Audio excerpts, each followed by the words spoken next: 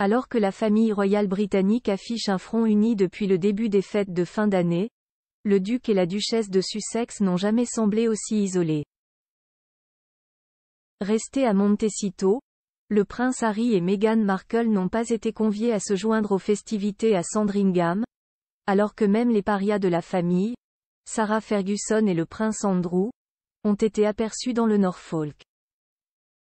Pas de miracle de Noël pour le prince Harry et Meghan Markle. Cette année comme la précédente, le duc et la duchesse de Sussex ont démarré la saison des fêtes aux États-Unis. Cependant, cette édition 2023 laisse certainement un goût amer dans la bouche du fils cadet de Charles III. Depuis plusieurs mois déjà, des rumeurs laissent entendre que celui-ci songerait à un retour au Royaume-Uni.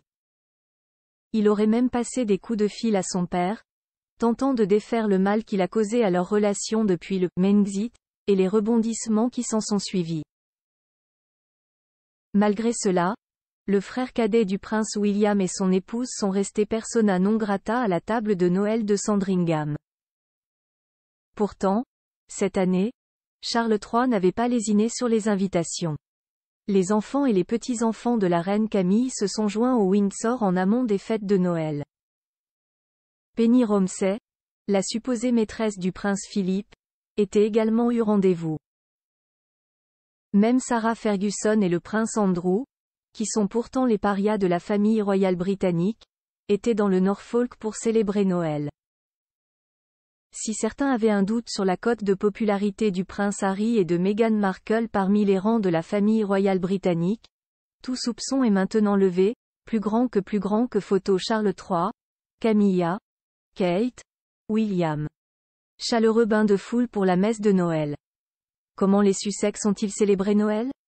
Puisqu'ils n'ont pas reçu d'invitation à Sandringham pour les fêtes de Noël, le prince Harry et Meghan Markle seraient restés à leur domicile de Montecito, informe The Indépendant.